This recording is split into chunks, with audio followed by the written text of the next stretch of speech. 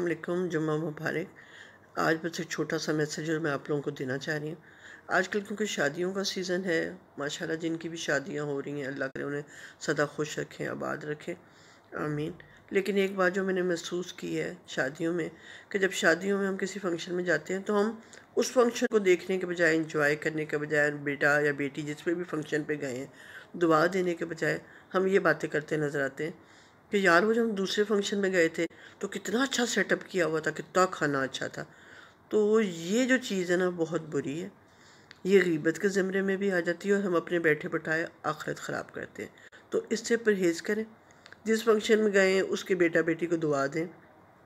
गो के बुराइयाँ करनी शुरू करें। इससे अल्लाह भी खुश होगा और आप भी खुशी महसूस करेंगे और आपको वो फ़ंक्शन भी अच्छा लगने लग जाएगा।